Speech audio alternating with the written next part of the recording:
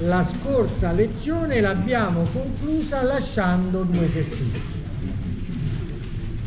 E il primo esercizio era su variazione compensativa rispetto a una funzione quasi lineare, giusto? Se mi ricordate la funzione, perché da quello che ho scoperto stamattina ne ho date due diverse nei due turni, non me ne ero reso conto. Eh, se mi ricordate la funzione lo risolviamo. L'utilità è? 4 x1 alla 1 mezzo più x2 perché è una quasi lineare mi ricorda i prezzi? prezzo uguale 1 prezzo 2 uguale ad 1 il secondo è un numerario giusto? il reddito è Il reddito è 100 100 e la tassa è al 100%. e poi imporremo una tassa del 100%. Questo è l'esercizio che ho lasciato a voi.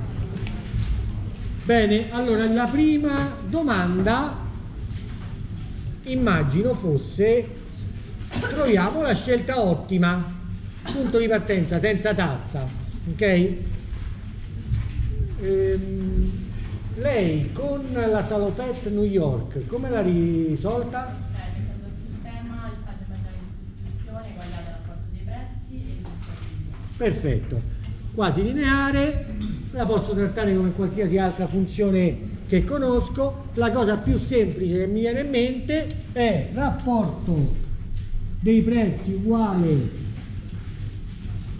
al rapporto delle due utilità marginali, che è il mio saggio marginale di sostituzione,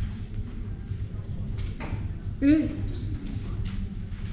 vincolo di bilancio che mi assicura di poter effettivamente effettuare quella scelta e di essere, effici- e di essere eh, in un punto in cui sto utilizzando tutto il mio reddito. Nel nostro caso che cosa mi viene fuori?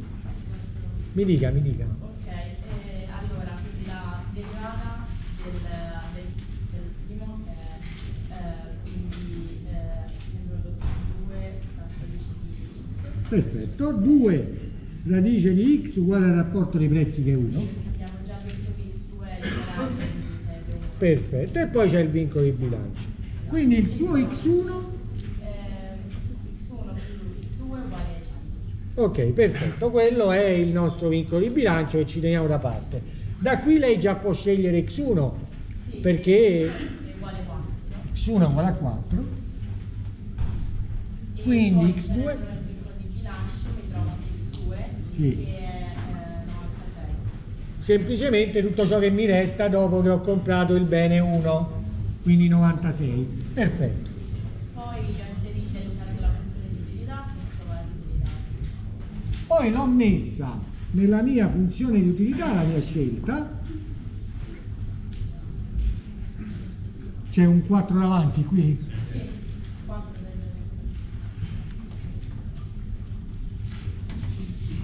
e ottengo 96 più 8, ok, 104.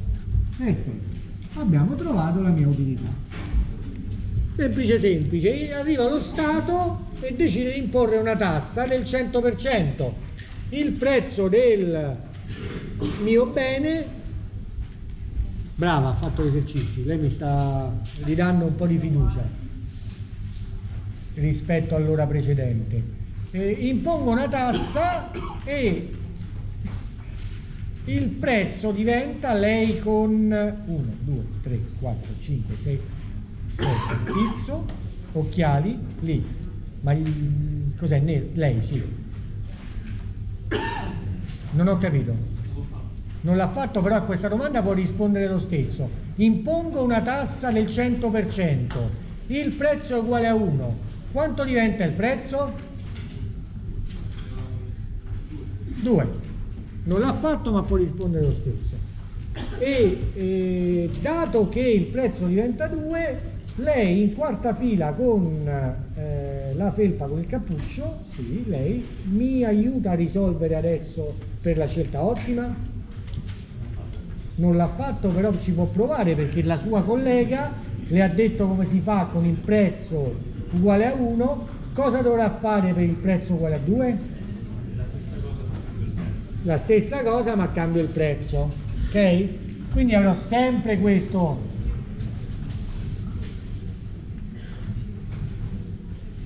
Ma il mio prezzo viene cambiato ok? E quindi la mia scelta ottima in questo caso quant'è? Lo dica alta voce. 1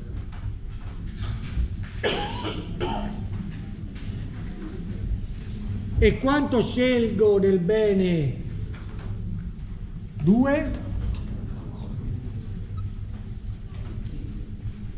m meno quanto spendo.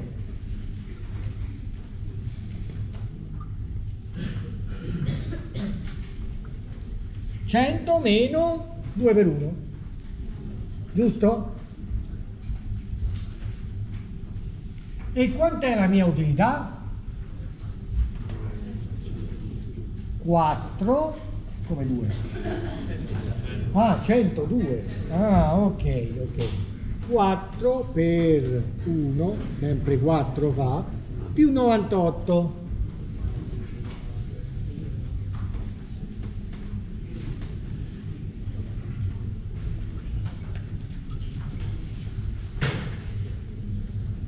Come vedete mi ritrovo su una funzione di utilità più bassa, ok? Terza domanda, cancello un po' di cose, eh?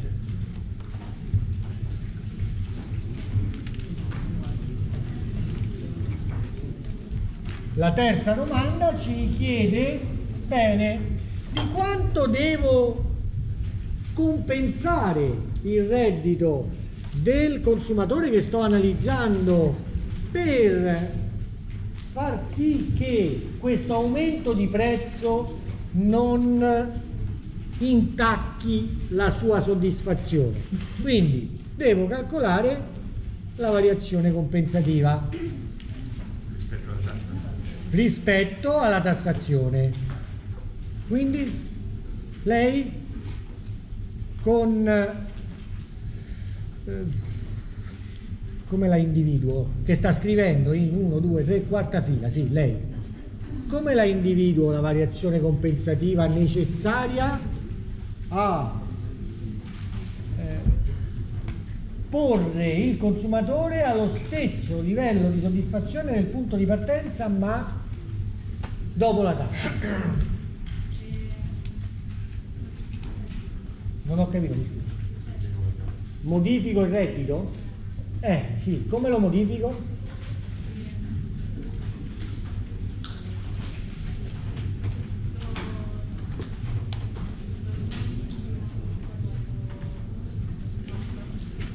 Lei accanto?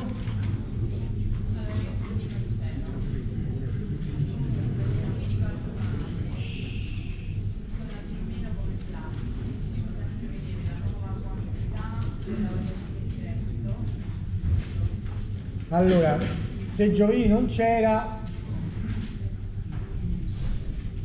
poco male perché avrebbe dovuto leggere il libro. Comunque, ok. Comunque la variazione compensativa cos'è?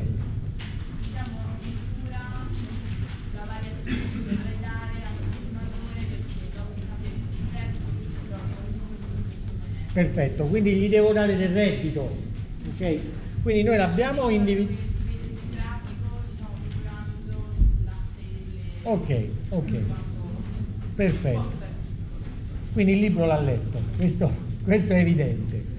Ora, quello che sto dicendo è cerchiamo di ragionare su che cosa devo fare. Ti devo dare del reddito tale per cui la tua utilità non vari, ok? Ma con la nuova scelta. Io la nuova scelta la conosco, no? È uno. Quello che cambia quindi in queste funzioni, perché vi ho dato l'esercizio sui quasi lineari, effetto reddito, effetto sostituzione? No? Perché vedo che qua il reddito non influisce sul bene quasi lineare, influisce solo sulla porzione di utilità che è lineare, sul numerario, il reddito. Ok? Quindi la variazione di reddito io la trovo all'interno del secondo bene, cioè la mia domanda c'ha m qui, m meno x1 per p1, qui ce l'ho, questo è x2, giusto? Quello che accade qui dentro non varia. Quanto ne domando? 1. La mia utilità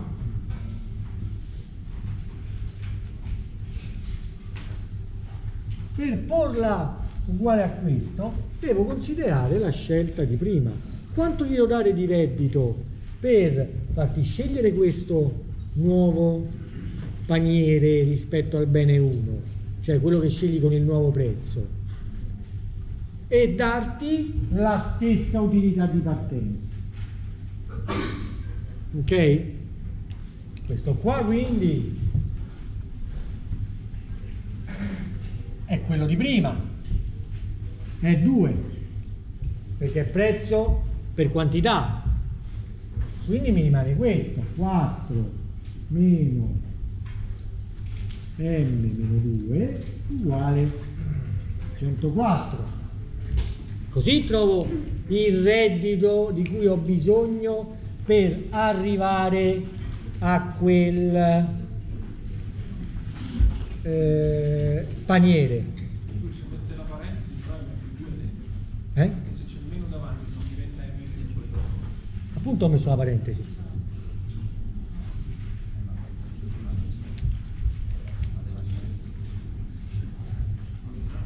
Questa è l'utilità, scusate.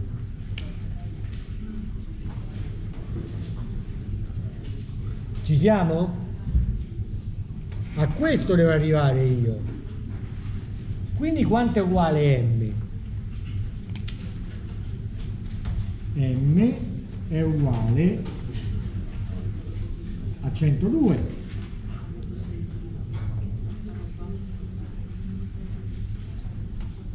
Ci siamo?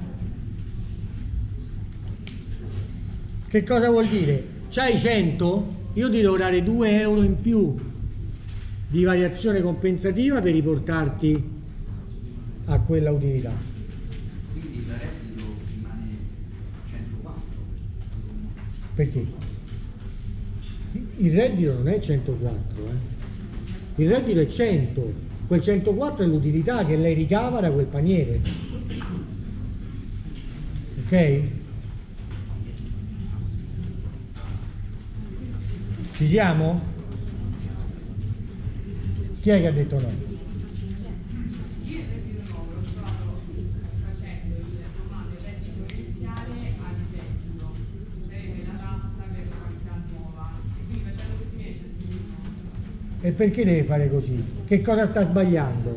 Lei sta sbagliando rispetto alla nostra definizione che abbiamo dato della soddisfazione che un consumatore riottiene se io gli restituisco il gettito oppure se gli restituisco ehm, l'utilità che ha perso. Faccia attenzione che il suo gettito quant'è? Uno per uno. Ok? Quindi lei non sta tenendo conto di tutti e due gli effetti. In particolare, in particolare gli sta ridando del reddito, ma non tiene conto che lui ha cambiato perché i prezzi relativi sono cambiati. Ok? È esattamente la differenza che abbiamo detto nel nostro esempio della scorsa lezione. Se tu restituisci il gettito, sì, gli stai dando un po' più di soddisfazione, ma non arriverai mai alla soddisfazione di partenza, perché lui non solo perde il potere d'acquisto reale, ma perde anche perché sta sostituendo in modo diverso.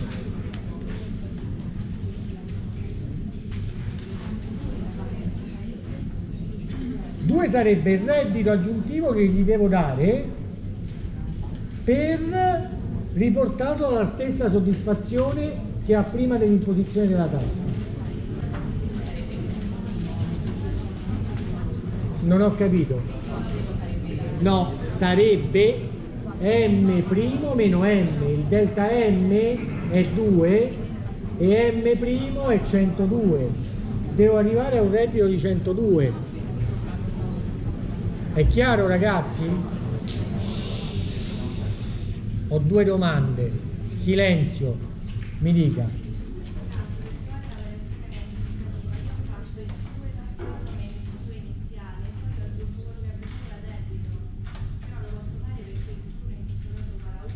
Perché è lineare, lo può fare perché è una quasi lineare. Eh, però perché X1 è 1, perché se X2 fosse stato pieno mi sarebbe sarebbe sbagliato. Eh certo, Ok. è quello che le ho detto io, perché è una quasi lineare. C'era un'altra domanda? Sì. Non riesco a capire dalla formula di dove uscite M-2. M è il reddito, Io che cosa consumo del bene X2? Il reddito meno tutto quello che spendo per l'altro bene. Per l'altro spen- bene spendo 2 perché ne compro uno, compro un'unità e la pago 2 euro. M meno questi 2 euro e quanto mi resta in tasca è il bene 2. Ok?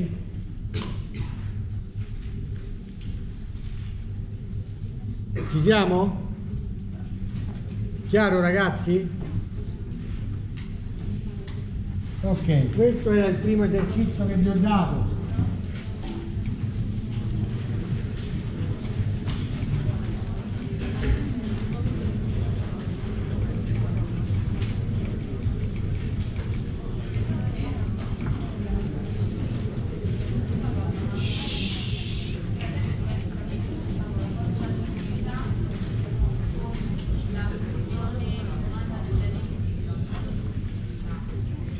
Beh, quello, io ho fatto la stessa cosa che ho fatto quando abbiamo risolto l'esercizio per la Cobb Douglas. Ho eguagliato l'utilità che derivo prima dell'imposizione della tassa e quello è un numero, l'ho calcolata, 104, no? L'ho eguagliata all'utilità che ricavo dal consumare i due beni, ma questa utilità l'ho espressa sia in termini del reddito, che è la mia incognita, sia in termini dei nuovi prezzi. Ok? Quindi ho fatto esattamente la stessa cosa, eguaglio le due utilità, però una gli lascio l'incognita che mi interessa, perché il reddito te, devo varia- te lo devo variare. No, è utilizzabile anche per la Cobb Douglas perché per la Cobb Douglas abbiamo fatto la stessa cosa, si ricorda? Io ho messo all'interno della funzione Douglas, ah non c'era, mi scusi. Se vede il video,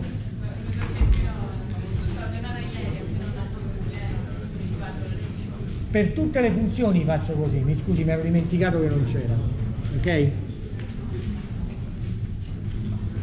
Siamo d'accordo su questo esercizio ragazzi? Sì, mi dica.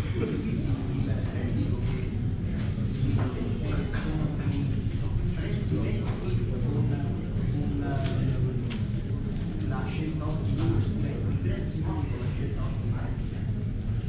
Allora, la scelta ottima è quella che lei ha indipendentemente da dove è, perché io la metto come espressione generica, cioè in funzione di M di P. Ok? Eh, ora, scusate, eh, se fate silenzio può essere utile perché la domanda non è banale.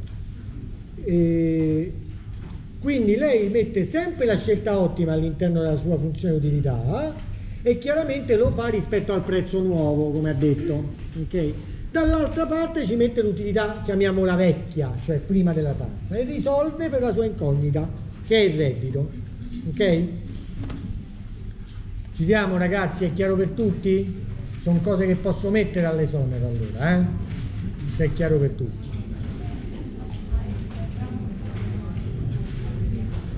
Io per questa formula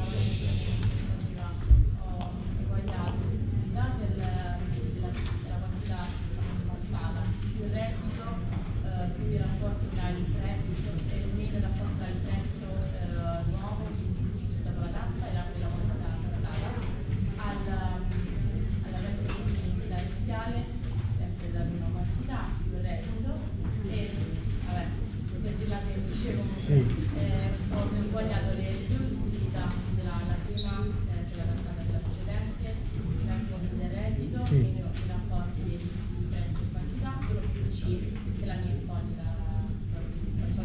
Ha trovato delta M lei. Esatto, ho trovato due e poi ho È la stessa cosa, certo.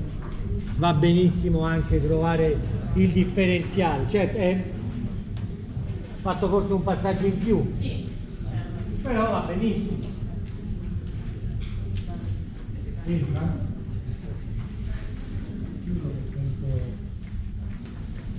sento rumore. Allora, il secondo esercizio eh, riguardava l'analisi costi e benefici in un equilibrio di mercato dopo l'imposizione di una tassa. Quindi abbiamo detto, vi ho chiesto una volta che mi ritrovo a poter analizzare un equilibrio di mercato dove sappiamo bene la domanda da dove viene, ci siamo detti qualcosa sull'offerta.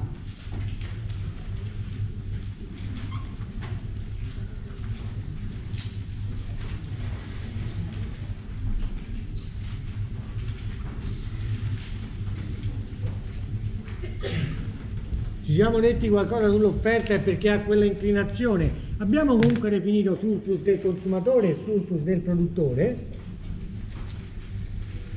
Siamo in grado di fare analisi costi e benefici, dovremmo essere in grado di fare analisi costi e benefici rispetto all'imposizione di una tassa. E quindi vi ho detto, fatemi questa cortesia, spiegatemi cosa succede al benessere complessivo e al benessere del consumatore e al benessere del produttore se da questa situazione arriva un terzo agente economico che chiamiamo governo impone una tassa fissa su questo mercato del valore di T facendo quindi variare il prezzo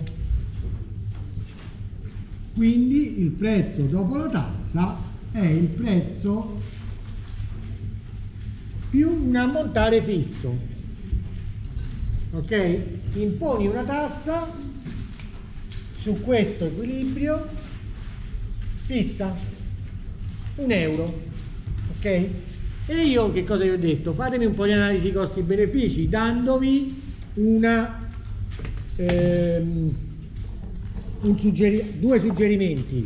Uno è sul libro, Due, chiudete il libro, buttatelo lontano e cercate di farlo da soli partendo da questo secondo suggerimento. La tassa è fissa, supponiamo che la versi l'imprenditore tutta al nostro eh, agente economico governo, cosa succede? All'offerta che ho appena disegnato. E vi ho detto beh dovrebbe essere chiaro che dato che io devo versare sempre la stessa quantità per ogni unità. Questa offerta si sposta verso sinistra esattamente nell'ammontare della tassa parallelamente. Ogni punto io lo posso ritrovare su una curva di offerta più alta spostata parallelamente di quell'ammontare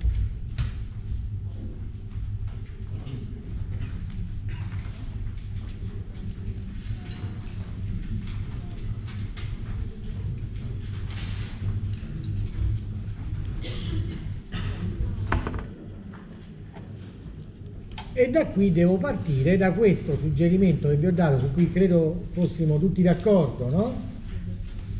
a fare un po' di analisi costi-benefici e quindi l'ho fatta giusto? quindi in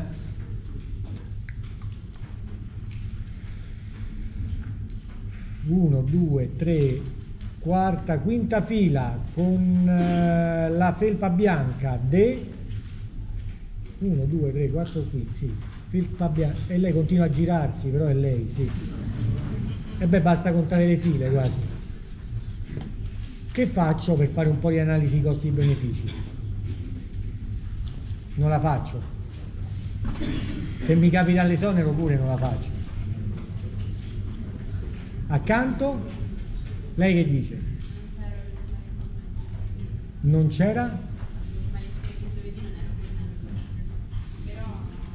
Però così l'ha letto il capitolo, no? Perché lei segue sicuramente i miei suggerimenti di leggere il capitolo prima del... Quindi questa qua, come ho detto, è nel libro. Quindi ha letto questa cosa qua. Analisi di una tassa, come si fa?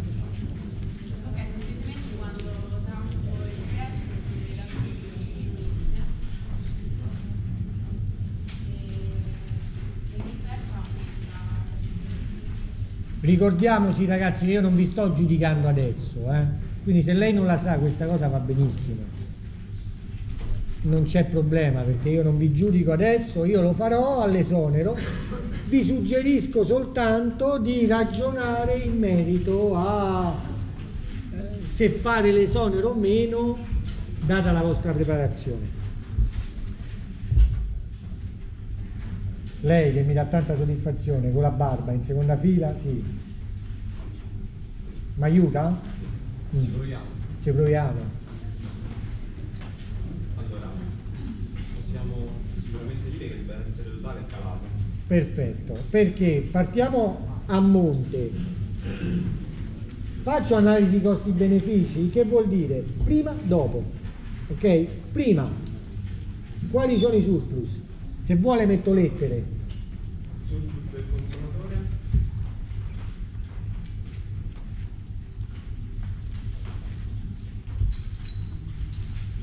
È A e T, il primo. Perfetto. A e P star surplus del consumatore, tutto l'area arrivo.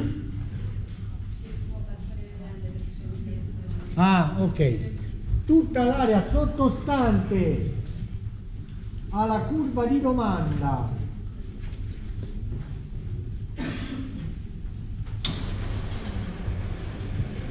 tutta l'area sottostante alla curva di domanda, sì sì, ce l'ho presente, bisogna per forza abbassare tutto e poi rialzare. Tutta l'area sottostante alla curva di domanda e delimitata dal prezzo di equilibrio è il triangolo che identifica il mio surplus del consumatore.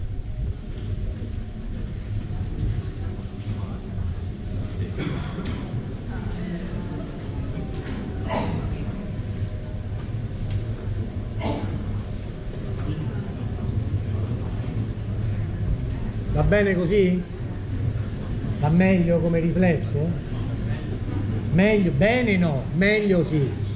La nostra soddisfazione è aumentata. Quindi area sottostante alla curva di domanda identificata dal prezzo di equilibrio surplus del consumatore.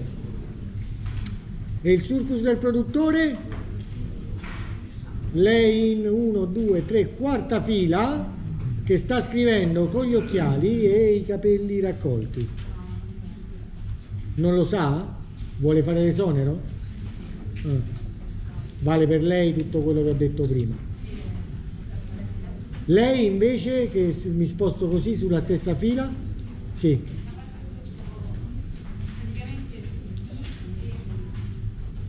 P e B. P e Q. Ah, P e B. Ok, ho detto bene, quindi mi sembra B, B. Ho detto B. Ah, L'area delimitata dal prezzo e superiore alla curva di offerta è il mio surplus del produttore. La somma dei due mi dà il surplus totale che identifichiamo come benessere derivante dallo scambio. Ok? Parto da lì. Ottimo. Poi lei mi dice, eh però tu hai imposto la tassa, quindi arrivo dove? Che succede al consumatore? Entrambi perdono surplus. Mettiamo un'altra letterina che ci può essere utile.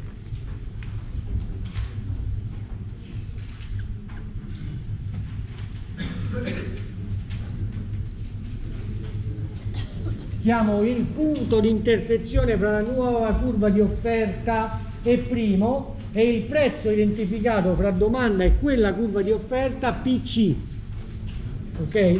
Il nuovo surplus del consumatore è A e primo PC. Perfetto. A e primo PC, questo nuovo triangolino è il surplus del consumatore. Questa è la parte che vedo immediatamente. Là dietro, proprio con la bottiglietta d'acqua, quasi in ultima fila. Mi vede? Ci siamo? Lei? Ok. Il produttore, dopo la tassa, quanto si porta a casa? Il surplus di prima, me lo dica a parole. La il primo, PC e... no, La prima cosa che mi deve dire per rispondere a questa domanda, gliela pongo io direttamente la domanda senza lasciarla implicita, è qual è il prezzo che effettivamente ci identifica la quantità di moneta che entra nelle tasche dell'imprenditore. Questa è la prima cosa che deve dire lei. Deve individuare un altro prezzo. Perché lei stava andando in una direzione sbagliata, per quello l'ho fermata io. Il casco di chi è? Quel casco là di chi è? È suo? Il proprietario del casco mi risponde a questa cosa. Dove individuo il prezzo che effettivamente identifica quanto denaro entra a parole, perché le lettere non c'è, lo deve individuare, mi deve dire cosa devo fare.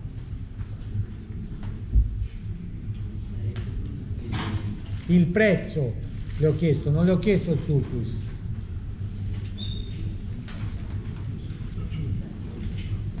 Ricordatevi, va bene anche non lo so, eh, perché io non vi, non vi interrogo, serve per voi questo, serve per farvi capire che state indietro e che così l'esonero non lo passate, come vi ho detto, alla prima lezione. No? Alla prima lezione io vi ho detto, se voi non rispondete alle mie domande in classe, l'esonero non lo passate. Mm. Siccome siete grandi, adulti e vaccinati e soprattutto maggiorenni, utilizzate il vostro tempo in maniera efficiente. Venite in classe se questo vi serve. Studiate se pensate che abbia un senso studiare, se no non lo fate e fate quello che ritenete abbia un senso. Ok? Non vi posso dire quello che ho detto ai vostri colleghi stamattina, perché è già tardi, ma stamattina ai vostri colleghi ho detto ma che ci venite a fare a quest'ora la mattina qua? Dormite, riposatevi, che state meglio. Se venite qua, fatelo perché abbia un senso, no? Che c'ha lei sulla maglietta bianca lì? Un polipo? Cos'è? Lei con gli occhiali? Sì, sì. Cos'è quello? Un polipo? Un drago. Lei me lo sa individuare il, il prezzo? Il prezzo che ottiene il produttore, il produttore non paga. E quindi il modo per individuare il nuovo surplus del produttore. Come faccio? Devo scendere giù? Devo scendere qui per caso? E dire, beh, lui paga la tassa, ma la paga semplicemente girando questa tassa al governo, quindi a lui in tasca entra questo. Entra, chiamiamolo PI, cioè quello che gli entra effettivamente non è il prezzo che paga il consumatore, perché in quel prezzo dentro c'è la tassa. E questa differenza qui tra i due prezzi è proprio la tassa. Ok? Se non capisco questa cosa io l'analisi non la farò mai, perché non capisco che sia il surplus del produttore che il surplus del consumatore si riducono per effetto di una tassa. E adesso lo identifico il nuovo surplus del produttore con quest'area qui. E come abbiamo detto, quest'area qui è il nuovo surplus del consumatore. Rimane quel rettangolo. Che cos'è quel rettangolo? Il gettito. Ok? Quello è quello che si porta a casa lo Stato. Tassa per quantità nuova scambiata, perché la quantità nuova scambiata è qui. Chiamiamola QT. Ok?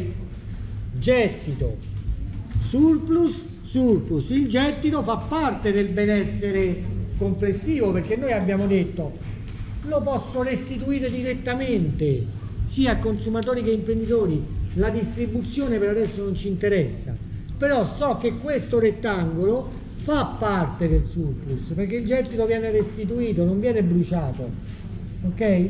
Come diceva il vostro collega all'inizio, arrivando con la prima risposta alla fine dell'analisi, sicuramente il mio benessere sociale e il mio benessere derivante dagli scambi è più basso, perché comunque, dato il gettito, dato i due nuovi surplus, lascio sul tavolo una parte di benessere, che è, arrivo subito da lei, questo triangolo qui, perdita secca.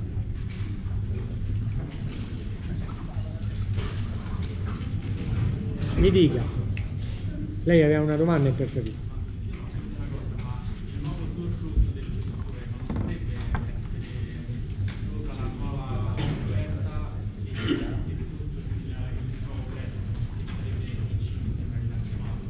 E la tassa come se la prende il governo?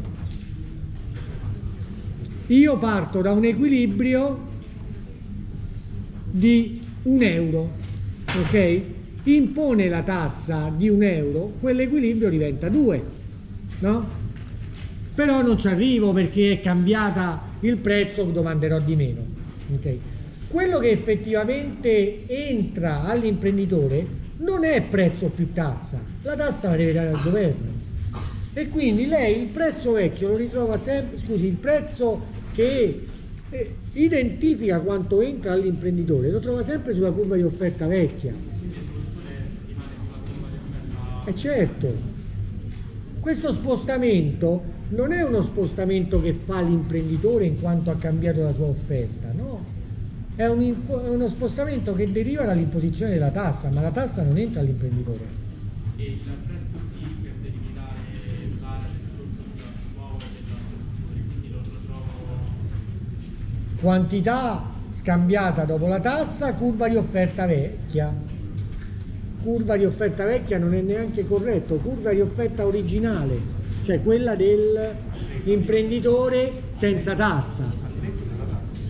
Esatto. Questo è ad esempio il caso dell'IVA. Beh, l'IVA non è una tassa fissa, però è molto simile. L'IVA com'è? L'IVA è una tassa in percentuale, ok? Quindi lei che cosa fa? In valore assoluto l'IVA è più alta su 10 euro rispetto a un euro, perché su un euro paga circa 20 centesimi, su 10 euro paga circa 2 euro. Quindi lo spostamento dell'offerta c'è sempre, ma non è parallelo, perché più va in alto e più lo spostamento è ampio. Allora tipo l'acciso sulla benzina. Bravissimo, bravissimo. Un esempio, il vostro collega ha detto allora un esempio di tassa fissa è l'accisa sulla benzina.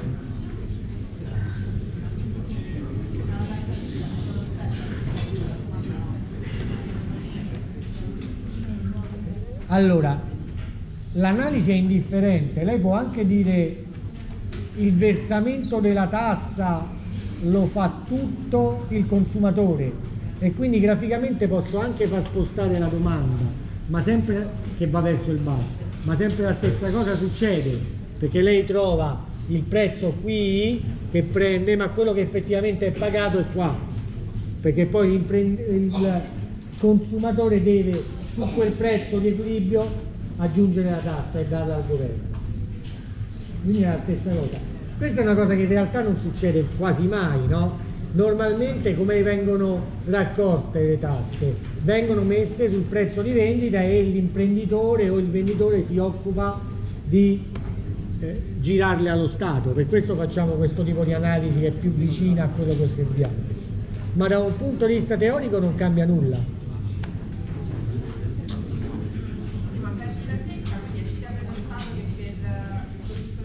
Per tutti coloro che no, è tutti coloro che partecipano a questo eh, mercato partono da un benessere e si ritrovano con un benessere più piccolo se lo sommiamo.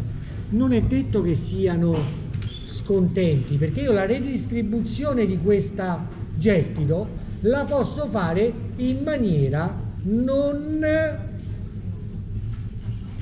uguale, posso ridarla tutta al consumatore. Posso decidere di tassare questo bene e ridarlo tutto al consumatore. Posso decidere di tassare questo bene e ridare tutto all'imprenditore. Posso decidere di fare un po' e un po'. Quindi non è detto che singolarmente i due stiano in una situazione peggiore, se presi singolarmente, ma se li considero insieme, che è quello che mi interessa, perché io sto facendo un'analisi del benessere complessivo, la situazione è peggiore. Perché ho lasciato sul campo quel triangolo perdita secca. Perché ti sto spostando in una situazione che è pareto inefficiente. Ok? Vediamo? Questa pure è una cosa che sapete fare questa pure si potrebbe mettere sulle zone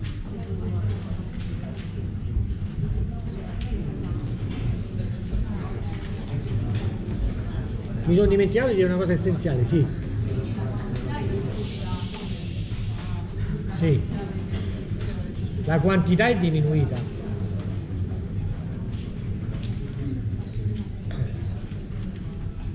Attenzione, mi sono dimenticato di dire una cosa essenziale. La cosa essenziale è la seguente. Abbiamo detto che l'imprenditore si occupa di girare la tassa dal... Eh, dallo scambio al governo, ma chi effettivamente sopporta la tassa non è solo l'imprenditore. Come identifichiamo chi sopporta la tassa?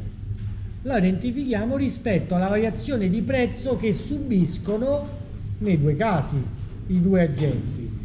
Il consumatore prima scambiava a Pistar, ora è costretto a scambiare a PC. Quella differenza è quanto della tassa grava sul consumatore. Ok? Quindi questa differenza è quanto paga il consumatore di quella tassa per singola unità, perché il prezzo è più alto. La differenza fra quanto percepiva prima della tassa e quanto percepisce adesso è quanto grava in termini di variazione di prezzo sulle spalle dell'imprenditore a causa della tassa e quanto paga l'imprenditore rispetto all'imposizione di quella tassa. Come si dividono la tassa? Sono queste distanze da P-Star a PC e da P-Star a P rispettivamente per il consumatore e per l'imprenditore. Ok? Ci siamo? Perché vi dico questa cosa? Perché questa è essenziale nel capire perché fra un pochino ci metteremo a disquisire rispetto alla pendenza della curva di domanda. Vedete che se variano le pendenze relative di offerta e domanda, chi paga la tassa in termini di peso sopportato cambia? Lo vedete questa cosa? Iniziate a far a immaginare che l'offerta diventi più piatta, sempre più piatta. L'imprenditore rispetto a questa situazione, se ha un'offerta più piatta e quindi se questa offerta inizia a ruotare intorno al punto di equilibrio, cambiando sia intercetta che pendenza, che fa? Ne paga di più o di meno di quella tassa? via via di meno, perché quasi riduce l'intercetta rispetto al prezzo. Caso limite, che qual è il caso limite? Il caso limite è che io ho un imprenditore, o una serie di imprenditori, che presentano questa curva di offerta, un'offerta piatta. Come la interpreto questa offerta? A quel prezzo sono disposto a offrirti qualsiasi quantità. Ok? Allora, se io sono nel punto di equilibrio, impongo una tassa, che succede? Esattamente quello che abbiamo visto rispetto al nostro caso. Si sposta la curva di offerta esattamente della tassa. E chi la sopporta questa tassa? Tutto il consumatore. Ecco perché iniziamo a capire, guardate che non è solo importante il punto dove siamo nella distribuzione, ma è importante anche la pendenza relativa di domanda e offerta. Ok? Perché queste pendenze relative ci permettono di capire le variazioni di surplus quando abbiamo variazioni di prezzo. Chi la subisce di più questa variazione di prezzo, chi la subisce di meno. Ok? E quindi questo era il recap, come dicono gli anglosassoni, di quanto fatto nella lezione precedente in termini di esercizi. Ok? Bene. Oggi quindi introduciamo eh, il eh, concetto di domanda di mercato. Che cosa vuol dire domanda di mercato? Noi fino adesso, e ve l'ho fatto anche rispetto al prezzo massimo, vi ho detto ragazzi attenzione, l'analisi che faccio io presuppone che c'è un consumatore, uno e uno solo, no? E quindi mi permetto di fare quell'analisi del prezzo massimo un po' differente dal vostro libro perché ho un consumatore solo. Ora però, quando vado a verso il nostro obiettivo che è costruire l'equilibrio di mercato, quello lì, perché se vi ricordate io alla prima lezione vi ho detto dobbiamo arrivare lì noi, passo dal singolo consumatore al mercato. Il mercato che cos'è? La ricordiamo la definizione del primo, libro, eh, del primo giorno di mercato? Un luogo non necessariamente fisico, me lo dica lei. No, non necessariamente fisico, cammina costante tra consumatore e produttore. Dove si incontrano consumatori e produttori, dove si incontra domanda e offerta per dar luogo agli scambi di beni e di servizi. Ok? Quindi si incontrano i consumatori, non ce n'è uno, ce ne stanno N di consumatori.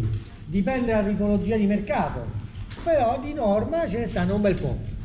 Come faccio ad arrivare dalla domanda del singolo consumatore alla domanda di mercato? Intanto mi devo ricordare che cos'è una funzione di domanda. Che cos'è una funzione di domanda? Lei in prima fila. Sì. Una funzione di domanda mh, diretta che mh, esprime appunto la quantità domandata di, di quel bene in relazione al prezzo. in relazione al suo prezzo sicuramente e possibilmente alle altre variabili monetarie se esistono nel nostro modello e se la sua domanda lo presuppone, P2 ed M. Questa è la quantità. Lei, consumatore rappresentativo, le do una struttura di prezzi, c'ho un reddito in tasca, domanda. Lei accanto stessa cosa, lei accanto stessa cosa. Tutti in questa stanza fate la stessa cosa da consumatori razionali. Se questo è il mio mercato, io come ottengo la quantità domandata dall'intero mercato? La sua, più la sua, più la sua, più la sua. Sommo. Ok? Sommo quantità domandate dai singoli consumatori. Quindi la mia domanda di mercato X grande X grande J per il mercato J-esimo, credo che questa sia la notazione del vostro libro, è uguale a che cosa? A una somma di domande dei consumatori che sono su quel mercato. O n consumatori, voi siete n uguale a ad occhio così siete 150.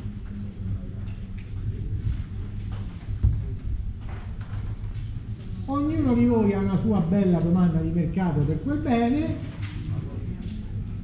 i prezzi sono uguali per tutti, M ognuno possibilmente ha il suo. Non è che fronteggiate prezzi diversi, fronteggiate tutti lo stesso mercato, quindi tutti la stessa struttura dei prezzi. M possibilmente potrebbe anche essere diverso. Quindi sommo tutte le domande per ogni singolo del bene 1 per ogni singolo consumatore I rispetto alla struttura dei prezzi e al suo reddito. Ok? E ottengo che cosa? Una domanda X grande che quindi sarà funzione di che cosa? Sempre la stessa struttura dei prezzi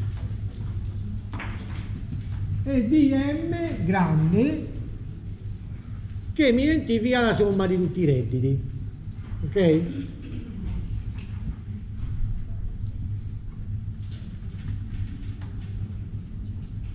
Questa è la mia domanda di mercato, la somma delle singole domande di, eh, dei consumatori. La prima avvertenza, ha detto bene la vostra collega, io ti definisco la domanda diretta, perché noi conosciamo domanda diretta e domanda inversa. Quando io vado a scrivere una tipica funzione di domanda lineare inversa, come la scrivo? Prezzo, variabile dipendente, funzione della quantità. Ma la domanda diretta che ha definita la vostra collega, che io ho scritto qua, è l'altra definizione di domanda, quantità, funzione del prezzo. Ok? Quindi quando io mi ritrovo di fronte a un esercizio dell'esonero che mi dice la mia P è uguale a meno B per Q, ho di fronte una domanda inversa. Se il mio esercizio mi dice guarda che tu hai 100 consumatori tutti uguali che scelgono tutti allo stesso modo sul mercato, devo sommare 100 volte la domanda del singolo consumatore. Ma attenzione, non questa, la quantità. Perché vi dico questa cosa che è banale? Perché uno degli errori più comuni che si fanno durante gli esoneri, passando dalla domanda del consumatore alla domanda del mercato, è di prendere l'inversa e sommare. Va bene? L'ha fatto lei come errore? Un po' di tempo fa. Quindi domanda diretta sommo, eh? attenzione. Okay? Questa è la prima cosa che è importante. E poi la seconda cosa che è, importa- che è importante tenere a mente è che nei nostri modelli molto spesso semplifichiamo la realtà e se io ho 170 persone qui non mi vado a sommare 170 domande diverse perché? Perché sarebbe difficoltoso, lo posso fare ma sarebbe difficoltoso, quindi i modelli che mi trovo ad affrontare sono ho 100 consumatori tutti dello stesso tipo, quindi devo semplicemente moltiplicare per 100 la mia funzione di domanda diretta. Ok? Ci siamo?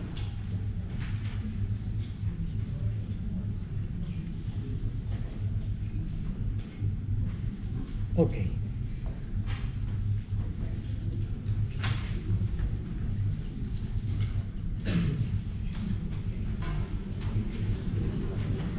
Questa è la prima cosa che voglio tenere a mente, così definisco la domanda di mercato. Che succede alla domanda di mercato in termini di dipendenza se i consumatori aumentano? Cioè se io ho un mercato con 10 consumatori e poi d'improvviso apro le porte e ne entrano altri 10, aumenta la domanda aumenta la domanda. E da un punto di vista della pendenza di questa domanda, che succede? Ma lei aveva una domanda che Ha alzato la matita prima? Lei in seconda fila? Sì. Ah, ok. Cioè, prendiamo questa domanda, no? facciamo un esempio pratico.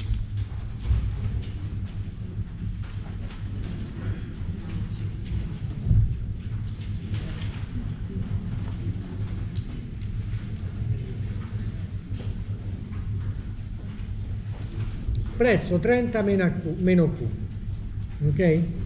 Questa è la domanda del singolo consumatore.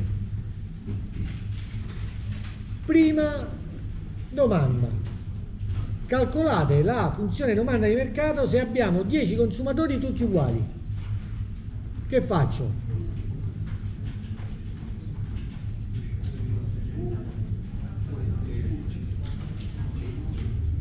Q, intanto dico, mi ha dato la domanda in diretta, hai capito? Sì. Ma quella è domanda inversa, Eh, appunto. Dico, hai, hai capito? Lo posso dire, hai capito l'infame? Mi ha dato la domanda inversa, mi vuole, mi vuole fare il trabocchetto. No, io non ci casco. Io prima trovo la domanda diretta. Ok?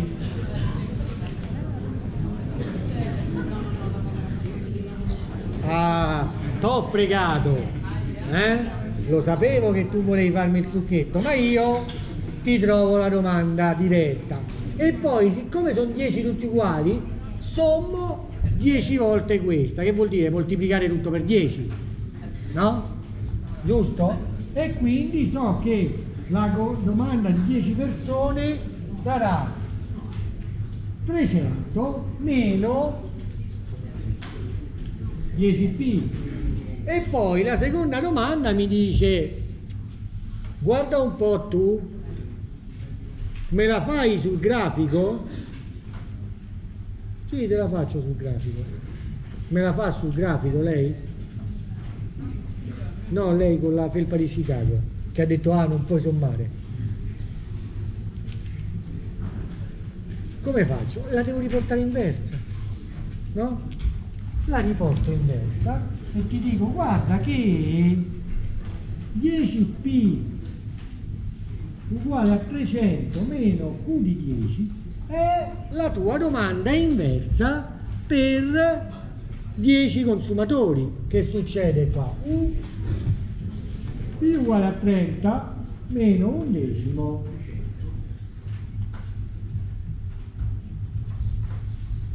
q di 10. La confronto con quella di prima. Guarda un po'. Dov'è? Eccola qua. Guarda un po'. Sono uguali? Non sono uguali. Sta cambiando la pendenza della mia curva di domanda lineare indiretta. Cambia la pendenza e la pendenza diventa sempre più piatta. Sempre più piatta. Mi tengo l'intercetta, no? Me la tengo l'intercetta, è lì. Perché? Fate l'esempio con 100, sempre la stessa cosa succede. Moltiplico per 100, 3000 meno 100p, ok? Porto p dall'altra parte, mi rimane 30 meno un centesimo, q di 100. L'intercetta non si muove. Perché? Perché l'intercetta è a quel prezzo, io domando zero quantità, sono tutti uguali, sempre quello domandano. Sempre zero domandano, a quel prezzo sempre zero, la somma di zero sono tutti zeri. Giusto? E beh. Eh. E quindi che fa la mia domanda di mercato? Più entrano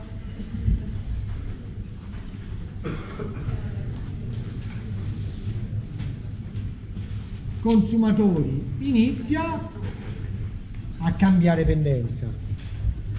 Ok? Cambia pendenza cambia pendenza cambia pendenza.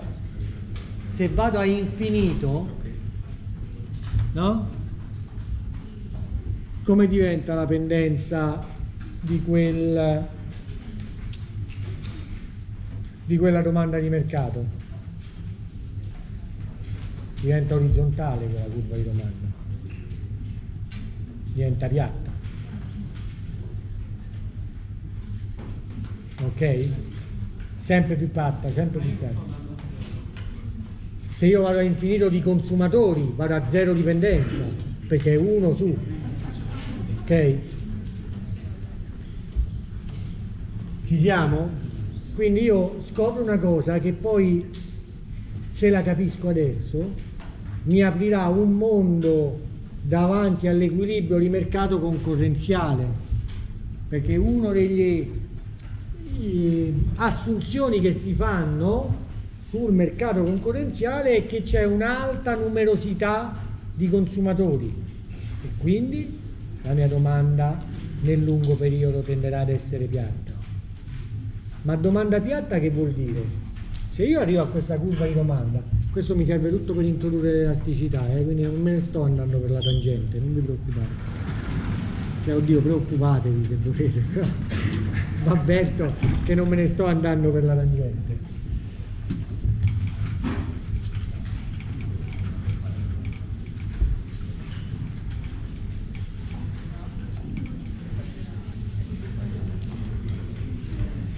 Se io arrivo a, per qualche motivo, avere così tanti consumatori che la mia domanda di mercato è piatta,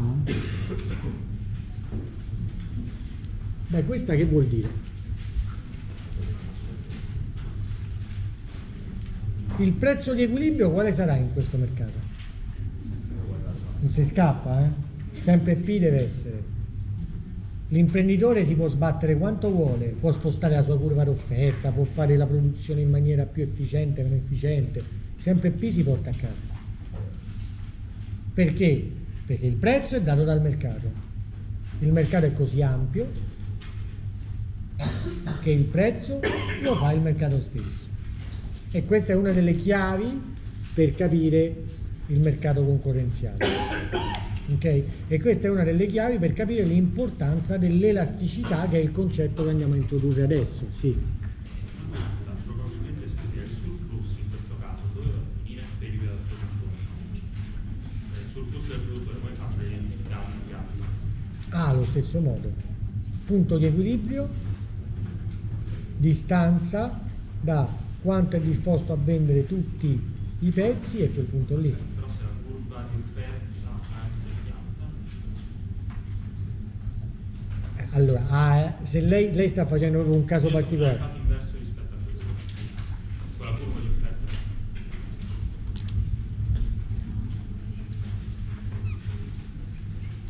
Lei sta dicendo questo, sì ok? Punto di equilibrio qual è? questo Surplus qual è? io sono quello del consumatore Eh, e quello del produttore è? Zero.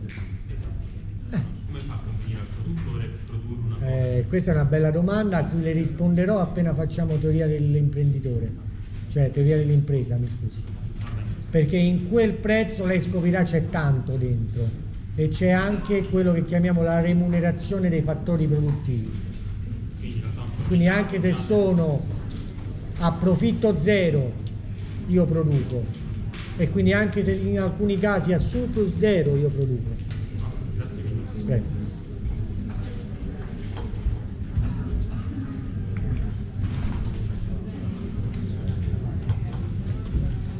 Bene, e perché mi interessava stressare questo spostamento della curva di domanda quando ehm, entrano più consumatori? Perché questo mi serve insieme a quello che abbiamo de- detto rispetto alla distribuzione di chi subisce la tassa eh, data l'inclinazione della domanda e dell'offerta, mi serve a introdurre il concetto di elasticità. E l'elasticità è la miglior misura che noi abbiamo per identificare il ruolo della pendenza della curva di domanda e della curva di offerta. Allora noi l'elasticità la possiamo definire rispetto alla curva di domanda, rispetto alla curva di offerta, la possiamo definire rispetto in qualsiasi relazione economica che mette eh, qualsiasi funzione economica che mette in relazione una quantità con un valore monetario, che sia esso un prezzo o un reddito. Ok? e sia che sia una domanda e sia che sia un'offerta. Non, non ci interessa tanto adesso fare la definizione su tutte le possibili elasticità, ma ci interessa per prima cosa introdurre l'elasticità della funzione di domanda rispetto al prezzo. E quello che in particolare mi interessa introdurre è essere in grado con voi di rispondere alla domanda seguente. La domanda è quanto varia la quantità domandata in un mercato in termini percentuali data una variazione sempre in termini percentuali del prezzo. Ok? Io voglio essere in grado di avere una risposta a questa domanda. Voglio sapere il prezzo varia dell'1%, quanto varia la quantità domandata sempre in percentuale. Ok? Questo voglio eh, essere in grado di rispondere. Quindi se io ho una domanda lineare e per qualche motivo so di trovarmi su questo punto della domanda, che è Q star e P star, mi sto chiedendo il tuo prezzo varia dell'1%, mi dici cosa succede alla tua quantità? Ok? Quanto varia la quantità domandata in percentuale data una variazione dei prezzi, sempre in percentuale. Ora traduciamo in formula questo che abbiamo detto a parole. Variazione percentuale della quantità come si calcola? Una percentuale come si calcola? Lo sapete? Variazione su valore assoluto, valore di partenza. Ok? Delta Q su Q. Variazione percentuale della quantità è delta Q su Q. Se, la, se il mio eh, bene si sposta di 3 unità e passo da 100 a 103, la variazione è del 3%, perché è 3 su 100. La differenza fra arrivo e partenza su partenza. Ok? Quindi questa è la variazione percentuale della quantità e io la voglio conoscere quando ho una variazione percentuale del prezzo. allo stesso modo delta P su P ok? Questa è la misura che mi interessa che io chiamo elasticità rispetto al prezzo. La sto calcolando sulla curva di domanda elasticità della domanda rispetto al prezzo. Ok elasticità della domanda rispetto al prezzo allora, guardiamola un po' meglio, scriviamola in una maniera che ci permette di analizzare le caratteristiche di questa elasticità. Questo lo scrivo come il suo reciproco, portandolo sopra la frazione.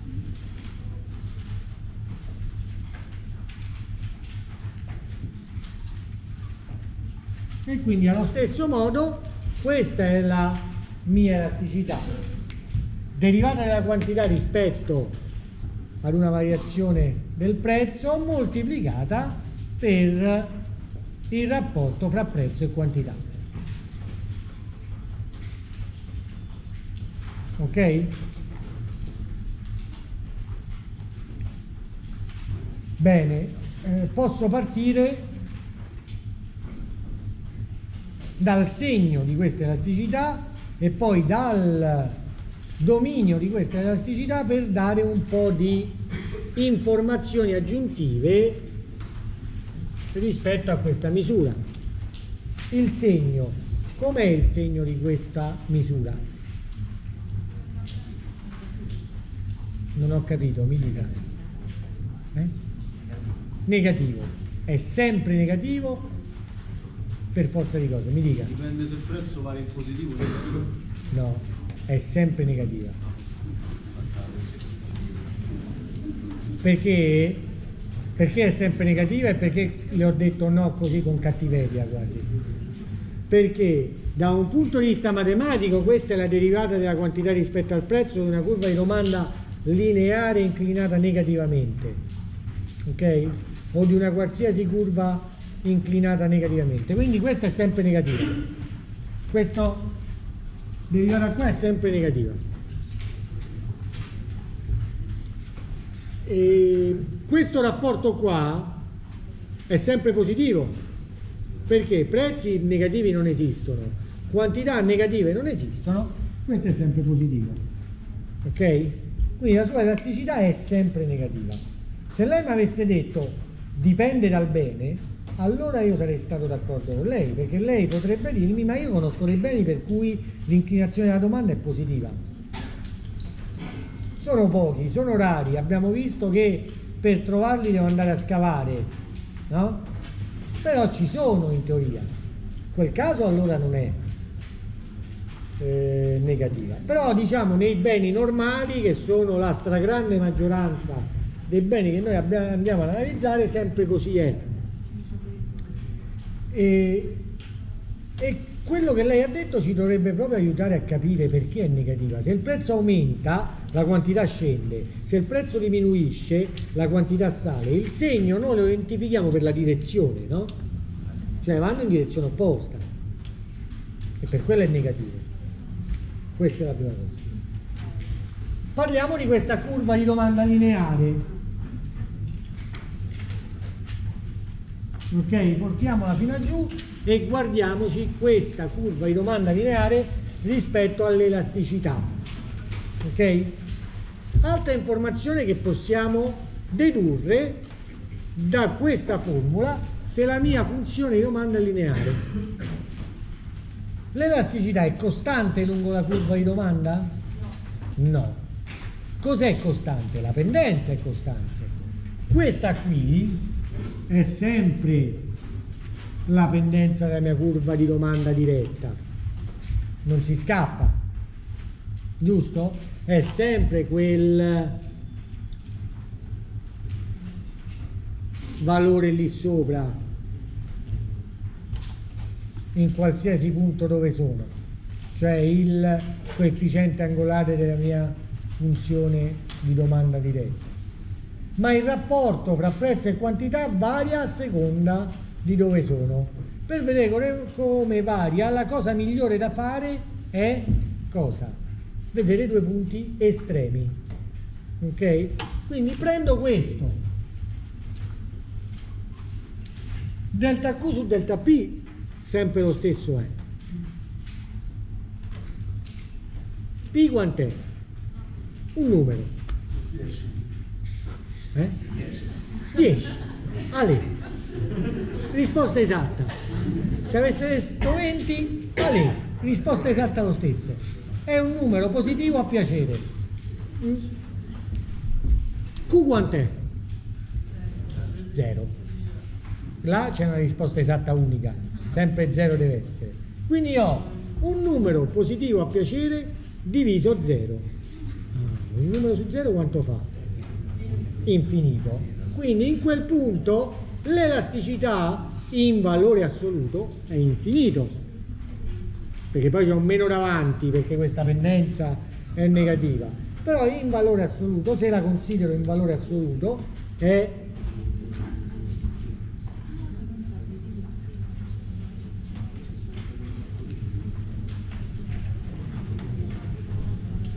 infinito.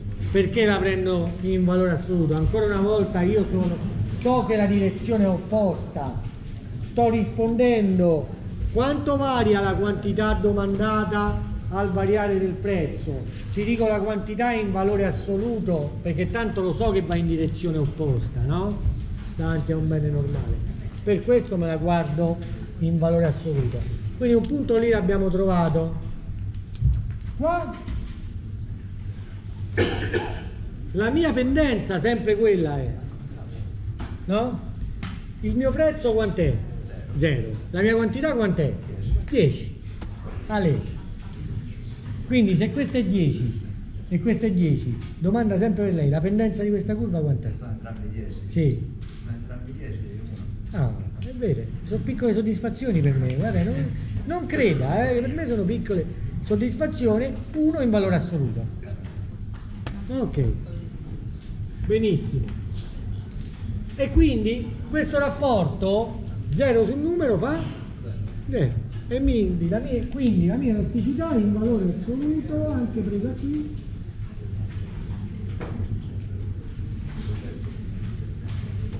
è uguale a 0. Oh, se passo da un punto 0 in valore assoluto a un punto eh, infinito, lì in mezzo ci deve stare tutto lo scibile fra 0 e infinito, no? Ci deve stare 0,5, ci deve stare 1, ci deve stare 1,5, ci deve stare 10, 100, 1000, fino all'infinito. ok? Qual è il punto che mi interessa?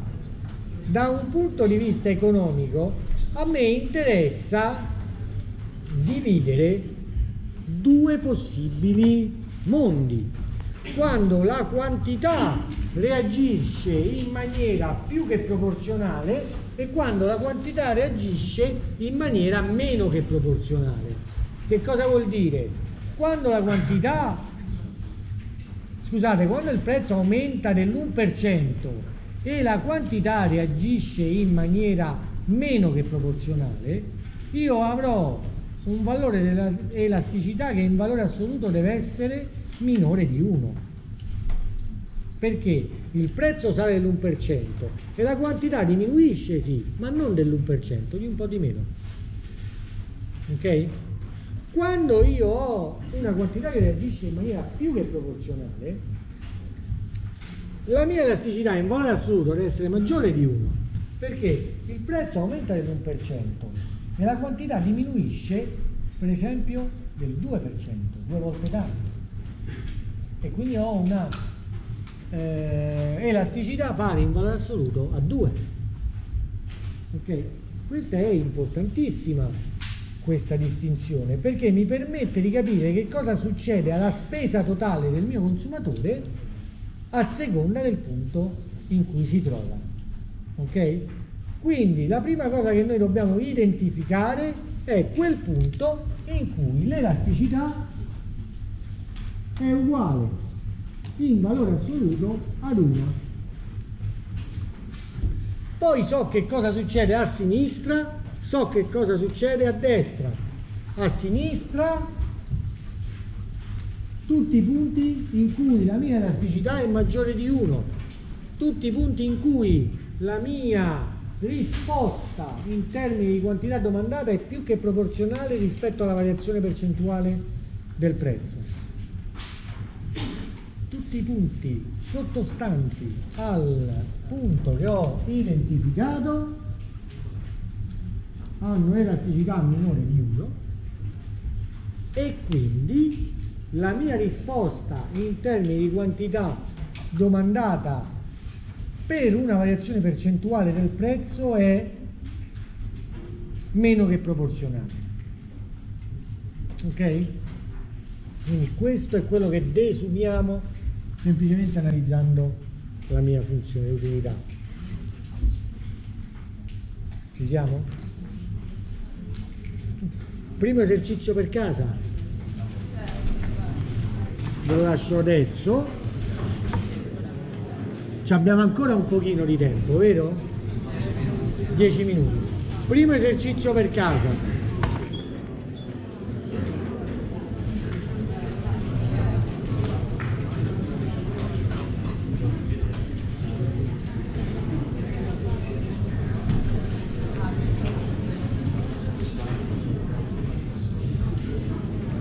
Meno B per Q.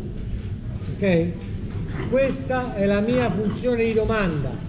Prezzo uguale ad A meno B per Q. Prima cosa da fare. Individuare il punto dove l'elasticità è uguale in valore assoluto ad 1. Ok?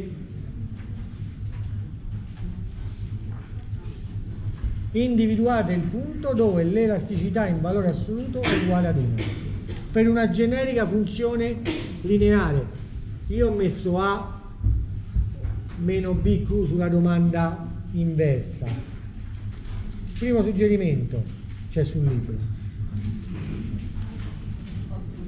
Ottimo suggerimento. E mette la notazione rispetto alla domanda diretta, non cambia nulla.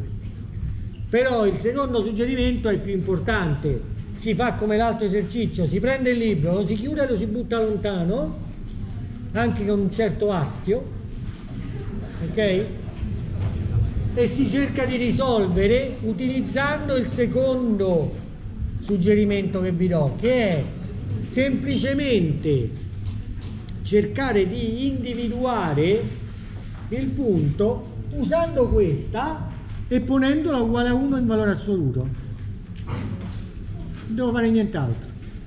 Uso questa e la pongo uguale a 1 in valore assoluto. Ci metto dentro le espressioni e vedete che trovate il punto in cui l'elasticità è uguale in valore assoluto ad 1. Questa è la prima cosa. Primo punto dell'esercizio. Per il secondo punto dell'esercizio vi devo spiegare una cosetta e poi vi do il secondo punto dell'esercizio. L'interpretazione di questa elasticità rispetto alla eh, spesa totale. Quando io so il punto di equilibrio, questo, so anche quant'è la spesa totale del mio consumatore. Ok? Perché lui ha questa quantità a questo prezzo, quanto spende prezzo per quantità? Ora io dico spesa totale perché ancora non ho parlato per niente dell'imprenditore, ma ci vuole poco a capire perché sul testo troviamo ricavo totale, perché nel nostro modello la spesa totale corrisponde a quanto incassa l'imprenditore, perché questo punto è dato da domanda e offerta che si incontrano, non ci sono tasse, non c'è nulla per adesso e quindi il ricavo totale è sempre prezzo per quantità. Ok? Come varia la spesa totale, quindi il ricavo totale, quando varia il prezzo? Beh, graficamente io lo vedo bene che cosa accade. C'ho uno spostamento, no? Perché sale il prezzo, si abbassa la quantità. Ok? La mia spesa totale come varia? Io consumo di meno in termini di quantità. Questo pezzo qui non c'è più. Prima io la differenza fra Q star e Q' la consumavo al prezzo P star, giusto? E quindi nella mia spesa totale c'era quel rettangolo rosso, adesso non c'è più. Però c'è un altro rettangolo che prima non avevo, che è questo. Prima io la quantità fra 0 e Q' la consumavo e quindi la mia spesa totale ce l'avevo su questa quantità, ma a un prezzo P star, non al prezzo più alto che ho adesso, più primo. Ok? Quindi la mia spesa diminuisce perché la mia quantità diminuisce, ma aumenta perché il prezzo aumenta. Ok? E quindi la mia spesa totale data da prezzo per quantità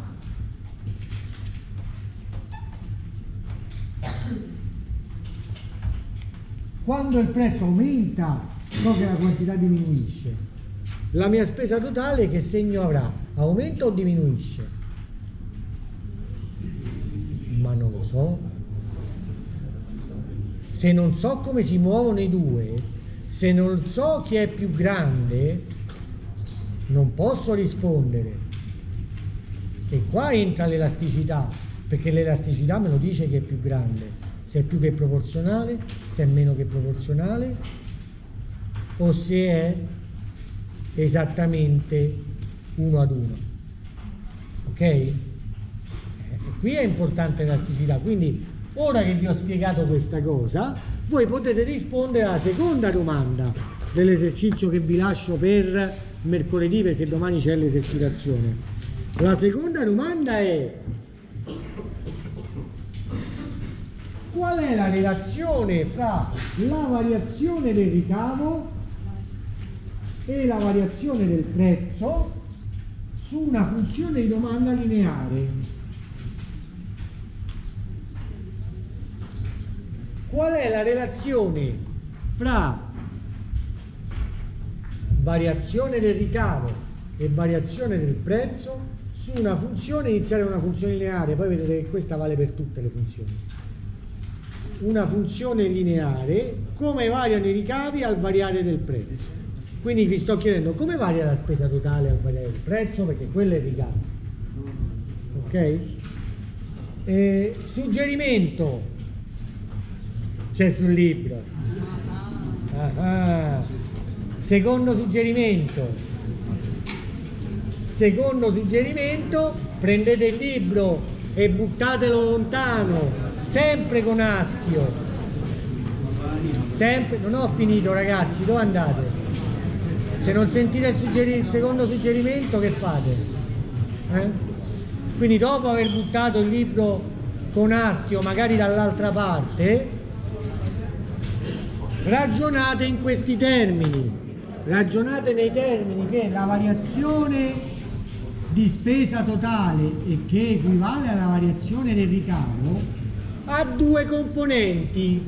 Ha la componente che deriva da questa variazione, dalla variazione della quantità e la componente che deriva da questa variazione, la variazione del prezzo.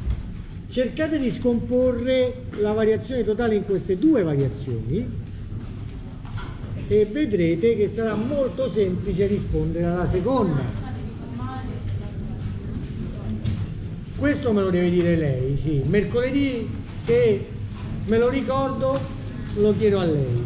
Ci vediamo mercoledì.